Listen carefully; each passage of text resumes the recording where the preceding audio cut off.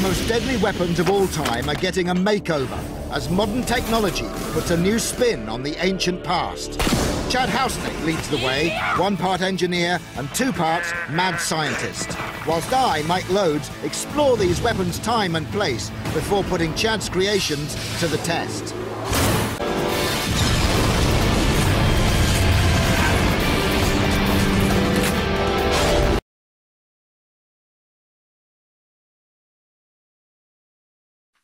Tchau, tchau, tchau, tchau.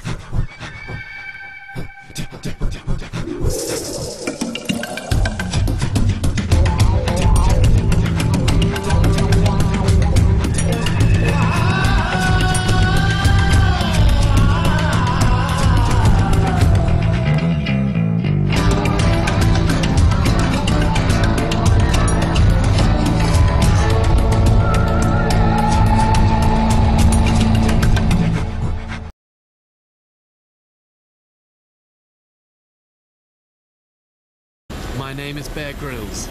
I've served with the British Special Forces, I've climbed to the summit of Everest, and crossed the frozen oceans of the Arctic. Now, I'm traveling to the Moab Desert in Utah. This iconic landscape is the most dangerous desert in North America, with punishing temperatures and some of the world's deadliest creatures.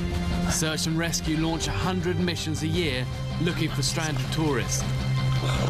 Now I'm going to show you how to survive here.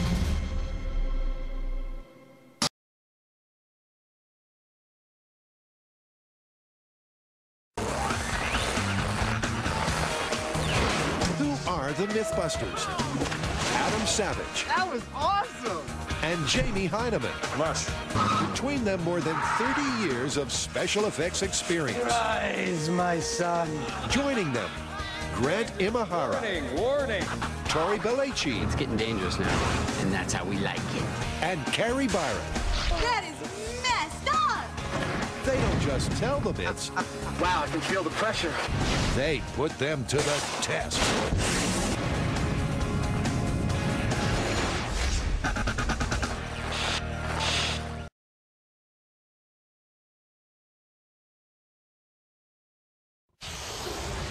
Things can go bad fast. They can go from bad to worse, even faster. Destroyed in Seconds. A new series full of stuff that didn't end well.